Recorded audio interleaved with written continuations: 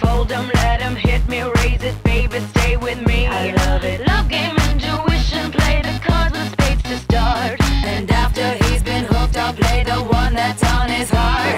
Bonjour, vous me voyez avec un chapeau rouge aujourd'hui, c'est pourquoi? Parce que je suis à Ivrea, une petite ville italienne à côté de Turin, qui est célèbre pour son carnaval et sa bataille d'orange. Un événement qui attire chaque année des milliers de visiteurs et qui cause chaque année des dizaines de blessés.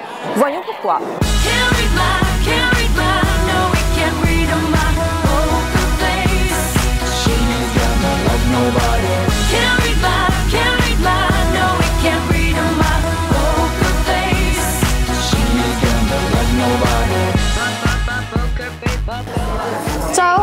Paolo Ciao Eva, benvenuta ad Ivrea. Grazie mille.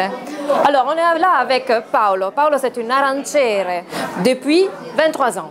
Vous imaginez. Donc ici, c'est une vraie tradition. Et pour la tradition, on fait un petit déjeuner avec... Qu'est-ce que, cosa stai bevendo, Paolo Allora, marocchino, un caffè con cioccolato e schiuma di latte, Che è tipico di qua. è tipico di qua. Sì. E cosa stai mangiando Ah, le bugie, un'altra cosa tipica del periodo carnevalesco. Alors, il faut que vous sachiez que ça, c'est la bougia. La bougia, c'est la mensonge. Mais c'est un mensonge gentil de ce qu'on dit à carnaval.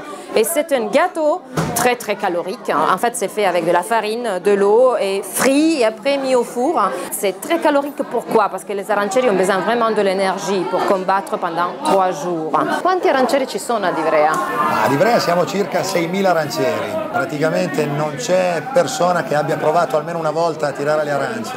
Si parte da piccoli e, e a volte non si finisce mai. Ad Ivrea è un'iniziazione, i bambini cominciano sin da piccoli, anche prima dei 10 anni, ed è un po' una prova di coraggio. Ha un evento che dura tutto l'anno, giusto? Sicuramente. Il carnevale dura una settimana, però finito questo carnevale noi qualche mese di riposo e poi ricominciamo ad incontrarci per organizzare il prossimo. E l'acquisto delle arance.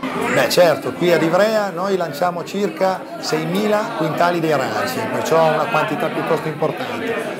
Ci tengo a precisare che sono arance destinate al macero perché è un esubero di produzione che viene acquistata tra Calabria e Sicilia Ecco, Perché poi ci sono delle critiche sul carnevale di Ivrea. Ogni anno ci sono dei feriti, ogni anno ci sono dei feriti. Ti devo dire che le ferite sono quasi un vanto, dai ragazzini ai, ai più grandi, avere qualche parte del- dell'avviso segnata è sintomo di coraggio e di aver tirato le arance con passione. Sì, ma qual è la storia del carnevale di Ivrea? Che cosa simboleggiano questi arancieri a piedi e quelli sul carro? Sono più di 200 edizioni e si rivive in qualche modo la liberazione di un tiranno. Le squadre a piedi sono il popolo e i carri rappresentano i soldati del tiranno che in qualche modo si scontrano con il popolo, ovviamente alla fine vince il popolo, È vero che con questo cappello rosso io non vengo colpita. colpita. Certo, questa è una garanzia. Innanzitutto è un ricordo dei tempi che furono, tutta la cittadinanza lo portava in segno proprio di ricordo di questa liberazione. Oggi, da 50 anni a questa parte, è diventato il cappello che ti garantisce che nessuno ti tiri le arance, perché altrimenti gli arancieri a piedi, qualsiasi cosa che vedono muovere, loro la colpiscono. Donc c'est très bien, aujourd'hui je peux être protégée parce que j'ai mon chapeau rouge. Paolo, io credo che ti aspettino e dovrai tornare al tuo combattimento, quindi insomma hai fatto una colazione energetica per, per essere pronto. Certo, beh le energie sono importanti, oggi sarà una lunga giornata per noi. Ok, in bocca al lupo allora. Ciao, grazie. Ciao.